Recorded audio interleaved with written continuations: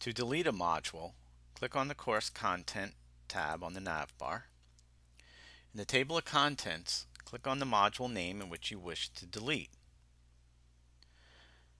Click on the con module's context menu choose Delete Module from the drop-down.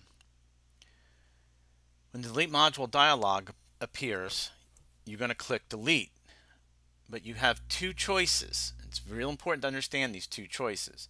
The default choice will remove the module and all the nested modules and topics from the content, but keep all the associated files and activities. So if you have any quizzes, discussions, or Dropboxes within the module, this is the choice you want. If you don't want any files to disappear and you may want to use them at a later time, this is the choice you make. The second choice will permanently delete all the contents and topics and associated files and activities. So be careful with this choice because if you have any quizzes, discussions, or Dropboxes within the module, they will permanently be deleted uh, from the quiz, discussion, and Dropbox lists area.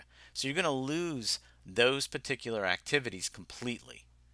So make your choice and then click delete.